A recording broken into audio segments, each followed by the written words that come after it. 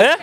Na, bwana nashukuru Mwenyezi Mungu alhamdulillah tumeshinda mechi tumepata goli moja na pointi tatu ambazo zimetupeleka kuwa kileleni.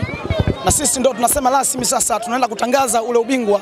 Tunaenda kukaa kileleni na hatutoshuka mpaka tunachukua ubingwa. Unajua ili uwe bingwa wa nchi lazima umfunge Azam lazima umfunge mpinzani wako ambaye lazima umshushe mtu ambaye amekutangulia. Hichi ndio alichokifanya.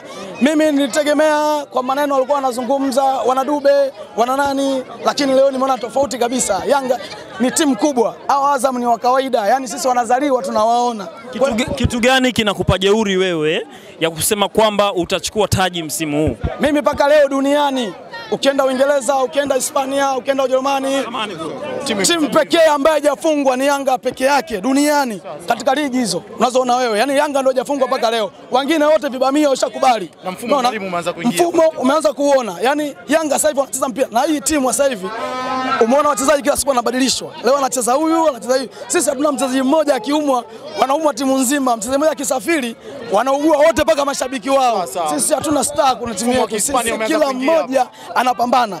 Kwa kwa kwa kwa ufungaji wa leo kwa Yanga mtaendeleza kufunga au mtakuwa na ile kudraw? Umeona, ume- ume- umeona ukuta wangu, ukuta wangu nadhani umeelewa. Ukuta wangu ni wajiwe, ukuta wangu wa nondo. Tunazuia, tunashambulia, tunashinda. Kwa hiyo sisi tunakwenda kushinda mechi yoyote tunakutana nayo sisi. Tunatoa dozi kutokana, umeona leo tunaongoza ligi, ligi leo ikiisha mimi bingwa. Umeona? Kwa hiyo nakwenda kutoa dozi kutokana na hali ya mgonjwa. Mgonjwa akija anaumwa nampa dozi ya kuumwa. Akija anaumwa kawaida Nampa dozi ndogo. kuna, kuna drip tu, kuna mdago ndio wape drip, ila akija anaumwa, mtu ana kabisa limemtoka, nampa dozi. Umeona jamaa mempa dozi hapa nyumbani Katika, katika kutafuta ubingwa unaweza ukapata ubingwa kwa pointi nyingi, pia unaweza ukapata uh, ubingwa kwa, kwa, kwa idadi nyingi ya magori. Yanga wamekuwa na, na, na, na ufinyu wa kufunga magori mengi. Unadhani tatizo liko wapi? Kwanza kikubwa ndugu yangu ni pointi tatu, sawa. Hilo la kusema ku, kushinda kwa magoli hizo tunaomba ni kudra kudra za Mwenyezi Mungu, lakini tunachohitaji sisi ni pointi tatu.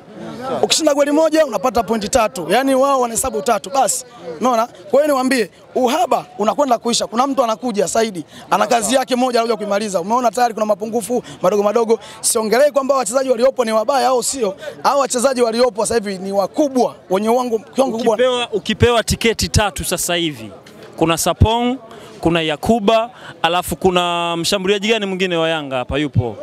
Mzee, wewe shabiki wa Yanga. Sapong, Yakuba, Yakuba na Saidi au unaongelea? No wageni. Uh, Sapong, Yakuba na, na, na, na, Kalinyo. Ukipewa tiketi tatu ubakishe mbili, mmoja aondoke, utam, nani utampa tiketi ya kuondoka? Sasa kiongozi, mimi wachezaji wangu wote mimi nawaamini, yaani mchezaji wangu mimi wote, kwanza ndoto machozi kimpi, na- naona fulani imelazimika aondoke, nitalia machozi. Lakini forward zako hawafungi magoli.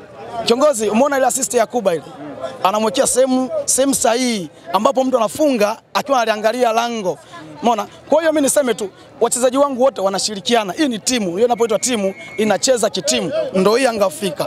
Mfumo wa Kihispania brother, anafunga yoyote.